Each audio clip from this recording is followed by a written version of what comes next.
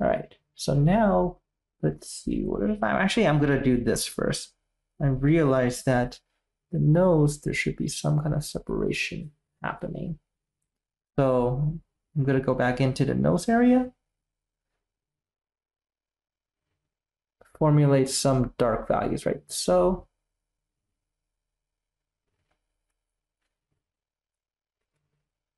right? Okay, so now we can actually go in, or I can actually go in and establish some more of the grays. So for instance, the grays here.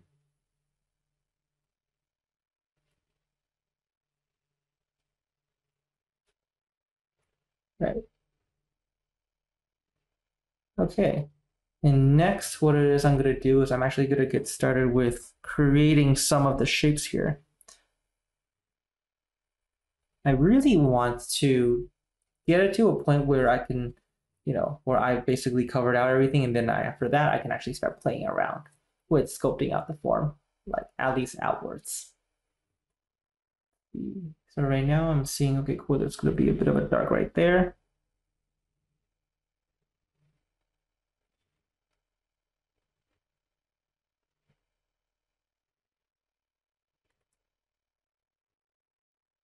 Okay, bit of a dark right there. And a little bit of a dark right here. And for this, I'm going to save that later.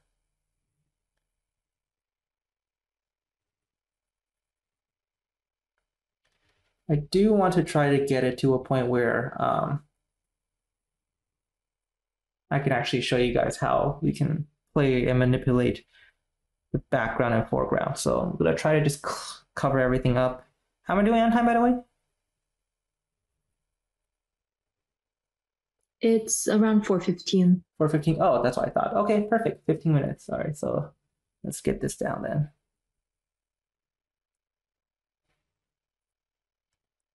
All right. But right now, as you can see, I'm pretty much building up most of the base.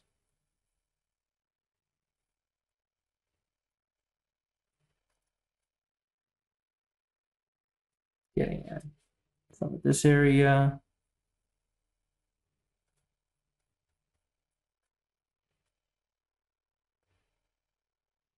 And uh, right now I'm actually going to go back in, make a little bit more of the background value.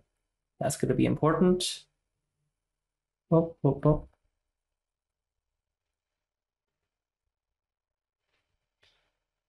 Okay. So I'm gonna actually whoop, go in with the background.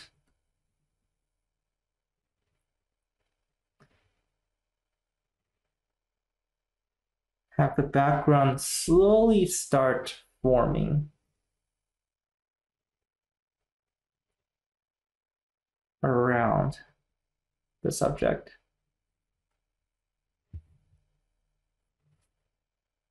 Okay. So specific look I'm actually trying to go for here, where you can feel that the background is kind of creating a bit of a vignette around the subject. And notice I'm actually, I've actually been avoiding some of the outer strokes here just because I'm, I've been waiting for to tap into a bit of this background here so we can formally play with that in a little bit. Mm. Then of course, gonna go in here.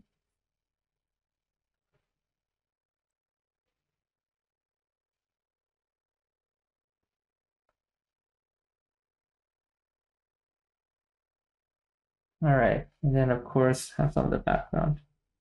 Right over here,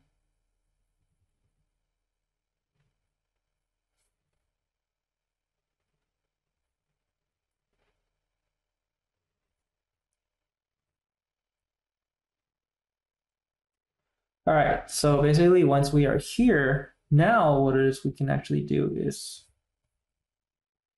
go in and start actually sculpting out some of the shapes. So what I have here is I'm gonna actually go slowly go in here. And actually before that, for anything, I want to establish what I've been meaning to establish. One lighter value right over here.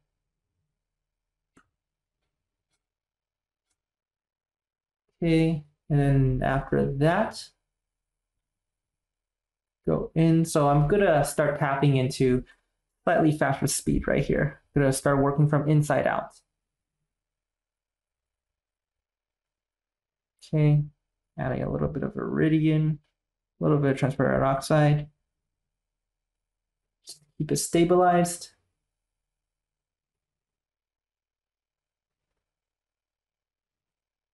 Okay. Okay, next, what it is I'm going to do is I'm actually going to get started with creating oh, some big darks right there.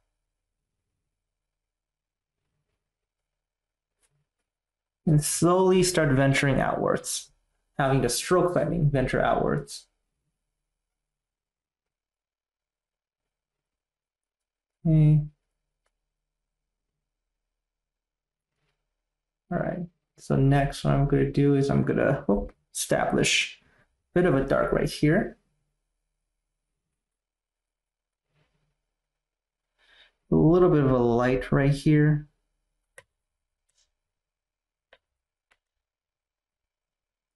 A little bit more yellow and a little bit more orange.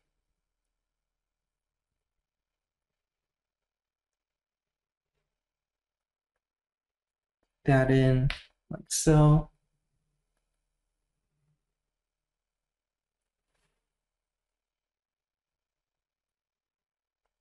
A little bit more red.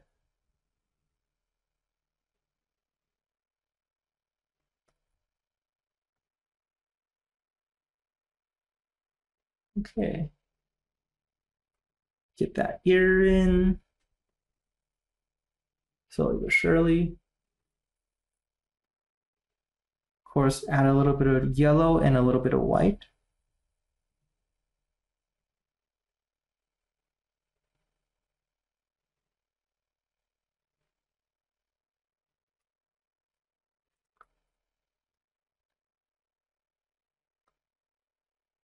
Then have it go against the form like so. And this is what I mean by going against and um, along the form.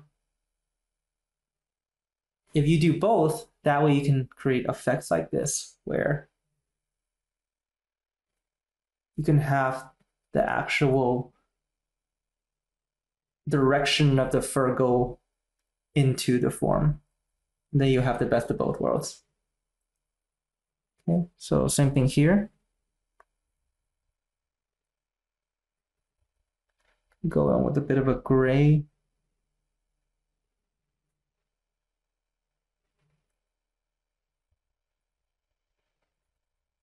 bit of a viridian right here.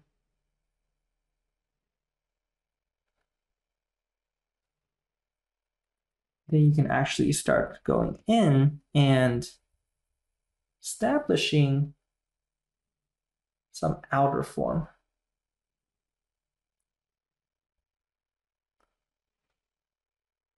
Now, just letting you guys know, to accomplish and achieve this kind of effect, you have to, and I repeat, you have to make sure that you're thinking through each of your brushstroke.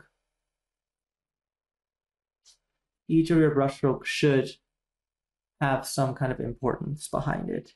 And this is basically what brush economy can give you in terms of effect.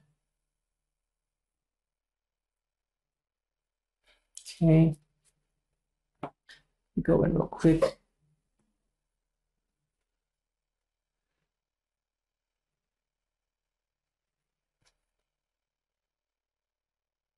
Establish that really quick.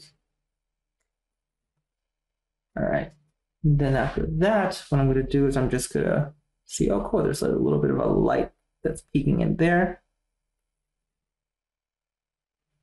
To get that in.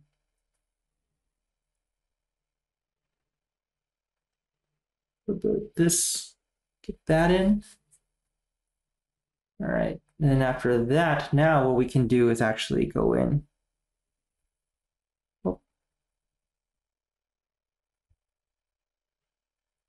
Some of this background. So I'm gonna whip up a little bit more here just for this area. Just enough while still letting it breathe, right? Notice how I, I didn't cover this entire thing up. Just letting it breathe a little bit. That's all you kind of want to do. Okay. So next, what it is you want to do is get a little bit, of, perhaps a little bit of a blue in here. Okay. Next, I'm just looking at the overall direction.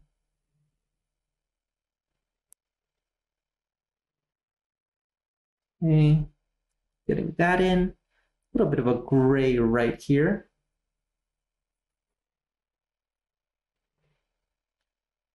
Bit of a darker blue. Right over here. Have that kind of start expanding outwards just a little bit.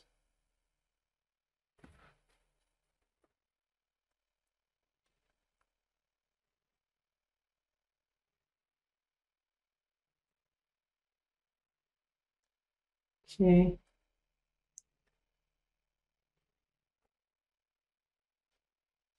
And then, of course, you can still use the background to help sculpt out some of the form if you need to.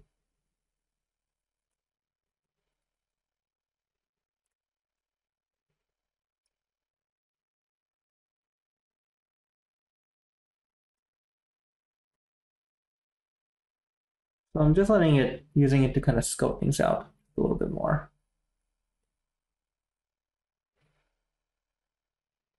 Okay, gonna go back in, start establishing this. I think it's 422 right now, so we have eight minutes. So let's see what we can do in eight minutes.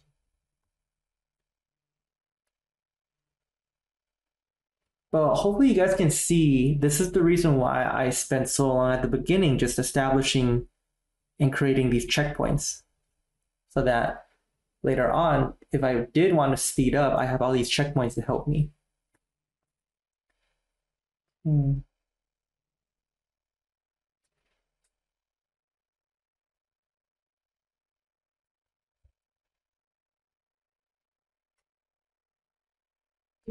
this in there. All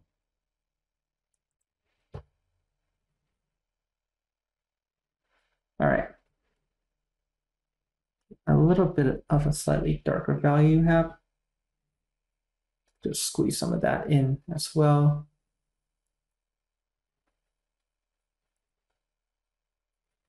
All right. Next, I'm going to tap into a bit of that lighter orange value. It's all the way here. It's a little too orange, so let's calm that down a little bit.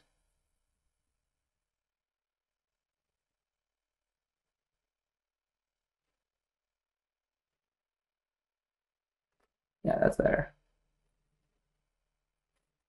Add in like so. It's the one stroke that's right here. So I'm going to establish that. And that's going to help me kind of close out this space. And that's what we're going to start aiming to do. Let's slowly just start closing things out.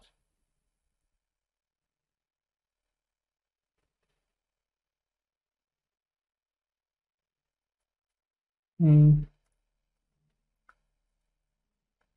then, of course, I'm going to tackle this area real quick.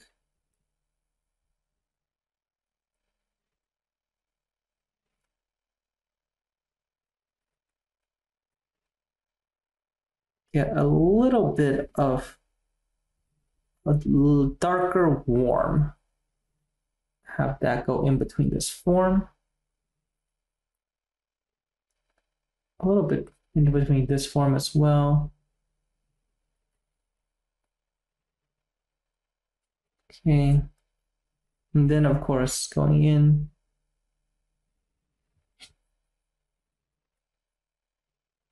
And just adjusting. Like I said, you can always constantly adjust everything that you're doing. Nothing will ever stay permanent unless you let it stay permanent. So just keep, keep that in mind. So when you get to this stage, it's really all just about readjusting everything. So now as you can see, I'm just going here and I'm able to kind of start readjusting some of the drawing.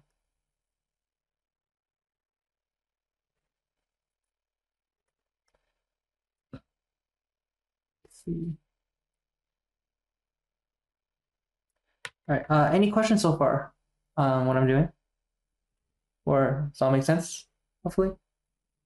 Yeah, it makes sense. Uh, there's three more minutes left. Three more minutes? Gotcha, gotcha. All right.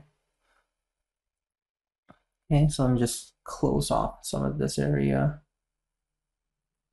Uh, and you're in. Everything makes sense? You feel like you're good to go when you tried this yourself? Yeah, it makes sense.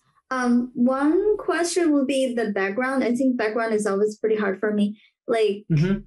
I, I tend to like feel like oh, if I have a background, it has to be like solid background. But, but I Mhm. see you have a lot of breathing room, right? So it's just it's not like the whole thing is Yeah, like blue. yeah. Um, somehow somehow it's been always been very difficult. Like sometimes at the background, it makes the painting looks really bad. yeah, yeah. like it's like all like I close everything and it's like perfect Mhm. edge and and it's just look very just unnatural, right? And you want to ask Uh, yourself, why are you closing everything? Why can't you I, I just feel like I have I feel like oh it's background and it has to be somehow? So, conti- so contiguous or something. So here's the thing: you shouldn't think of it as background because when you think of it as background, you think of it as something lesser, or you think of it as something that's supposed to be flat. You know what I mean? For me, this I'm treating this the same as I'm treating this. There's no difference. It's all just elements of shapes. You see what I'm saying? Hmm. So I think it's a uh, it's not really a painting issue. It's a mindset issue that you want to overcome, right? Because if you constantly are just thinking of it as a thing, then of course you're gonna like, it's gonna constantly be like that, right? But it's the mm-hmm. moment you start thinking like think about it differently, like changing your mindset up. Instead of looking at it as a background, think of it as an extension of the subject, right? You're not gonna make mm-hmm. the, the extension of the subject flat, right? Just like nothing here is flat, right? I'm not making anything flat here. Is that gonna make sense? Mhm. So yeah, I think for that, that's more about just a, uh mindset in a way, right? So don't think about background and foreground, background and subject as two different things. Think of them as one and the same. That's what I usually do. Make Mhm. sense? Yeah. Yeah, that way you can play because like you do have to play with them together. You have to like, you know, constantly go back and forth. Right? That that's Yeah. how you can play with them. So ask yourself, instead of like covering everything in the background because you're like, oh, that's the background, think of like, okay, how can I this is a puzzle piece. Like, you know, like how can I play with this puzzle piece with the other puzzle pieces here? How can I Mhm. make it easier for myself to play with it? You know? Yeah. I recommend looking at some of Joseph Todorovitch's paintings. Um, I really like the way he handles his backgrounds. Yeah, T O D O R O V I T C H Todorovitch. Yeah, because I was actually looking at a lot of his backgrounds when I started painting, and I really T O like D O R what? Todorovitch. So it's T O D O R O V I T C H. V I T C Yeah, H. Okay. you got it. Arrowich. Okay. Yeah, Mhm. look at some of his portrait sketches, his sketches and his demonstrations. You could type in demonstrations or sketches, you know. Um, s- you'll see what I mean. Do you see it? Like if you Google it right now, you'll be able to see it. Yeah. But yeah, he's someone that I rec- highly recommend checking out. Um, anyways, yeah. In fact, actually, uh, I don't know if you remember my student Xiao Zi, um, but she She actually just got into a school where he teaches at, so she actually might be able to study with him. Anyways, okay, so I think um that's pretty much it. I think by this time it's just about kind of going in and kind of reestablishing and sculpting, but hopefully you kind of get the idea. Okay. All right. Uh, any last questions?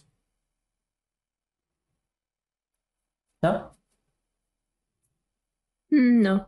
No? Okay. I'm going to put one last stroke here and then we can just call it. Put one stroke right here just to kind of help calm that area down. All right. And we can just call it then.